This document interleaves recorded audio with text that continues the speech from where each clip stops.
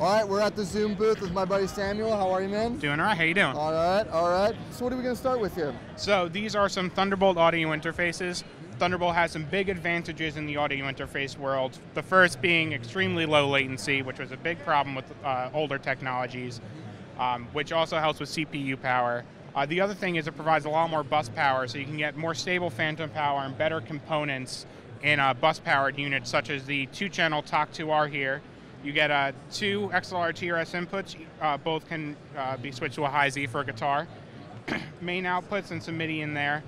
Uh, one of the cool things about Thunderbolt with MIDI, um, because uh, your audio has no latency, it actually links with your MIDI better. So especially for people using MIDI in live settings, it's a very important new technology. Yeah, and also, I mean, this is small enough where you could take it on a tour bus and be able to be writing all the time. Absolutely, right? and it's powered by your laptop. The 8 channel gives you 8 inputs, all with phantom power, two headphone outputs, all your digital options, ADAT, SPDIF. Um, both come with a software mixer, uh, Mac only, uh, works with any DAWs.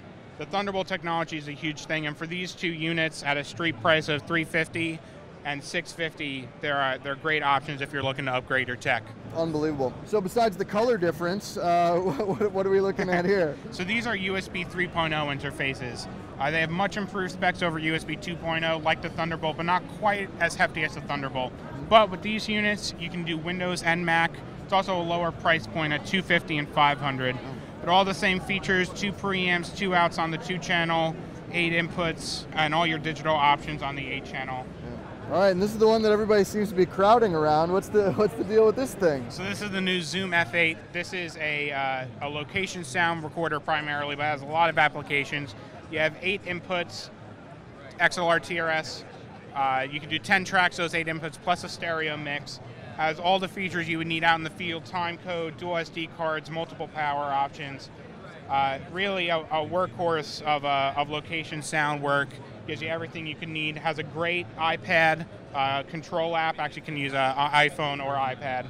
Um, lets you control all the parameters. Um, from fader and pan to, to phantom power and high pass filter also allows for easy metadata entry. This this recorder is is Zoom's first foray into the professional location sound guy, um, with huge improvements in our in our sound quality.